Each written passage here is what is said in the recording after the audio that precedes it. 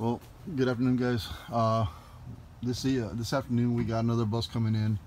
Uh, drivers complaining that the, I mean, it's not cold enough, guys. I mean, these drivers are going, they're driving up, picking up kids, and they're driving around in 100 degree weathers, temperatures. So these three AC units, uh, they're set further back to where the kids are okay, but the closest unit to the driver is like six feet away. So driver's complaining that he's not getting any kind of cooling towards the front of the unit. Uh, on this one, uh, we're not going to add another AC unit. They don't want to uh, fork out the cash for it. So what I'm going to do is I'm going to go ahead and try a little experiment. I'm going to add a little blower fan in front of this unit, close to these two vents. I'm going to aim that directly at the back of the driver and hopefully this is going to help the driver I mean, uh, at least feel a little cool breeze in the back of their neck while they're driving. Hopefully it'll make it better and uh, I hope it works out guys because it's just a little experiment. I'm gonna go ahead and try it on this one. Let me see how, it, let me see what happens.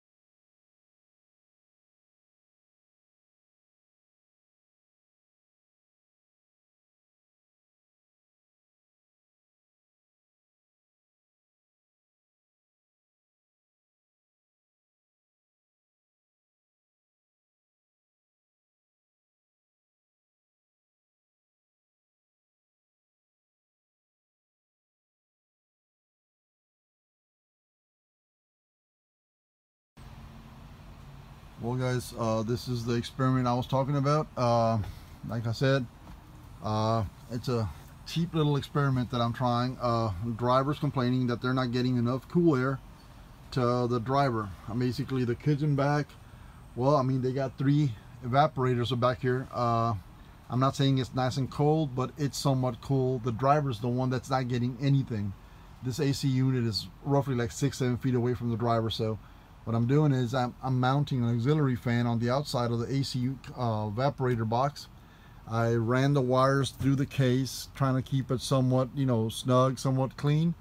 And uh, basically this fan is going to be drawing the air, little air coming out of these two side vents and some of this front vent.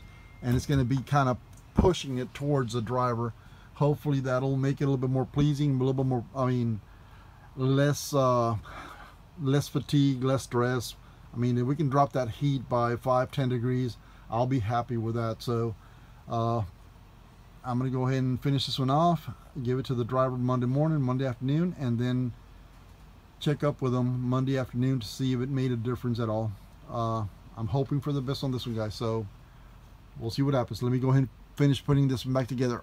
Oh, uh, I tied this fan to the blower motor on this uh, evaporator. So driver controls it. If he sits it on low both the auxiliary fan and the blower motor will both go on low so on and so forth. He sits it on high both of them are actually drawing on high so it's the driver's going to be able to control the speed of that little motor so let's hope for the best guys. Let me put this thing together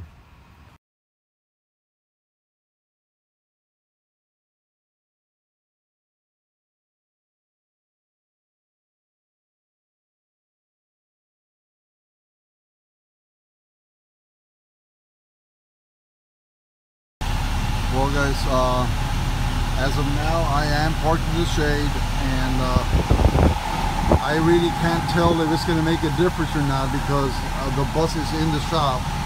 So I guess I'm gonna have to really wait till tomorrow. Uh, fan seems to be working. Uh, I kind of got on the driver's seat. I can feel a slight little cool breeze in the back of my neck so I'm hoping that that's going to make the driver feel just a bit better so well, all in all, I mean, I know the fan works. I just don't know if it's going to be enough. All right, guys, that's going to be it for this one. Hey, thanks for watching. Hey, like and subscribe.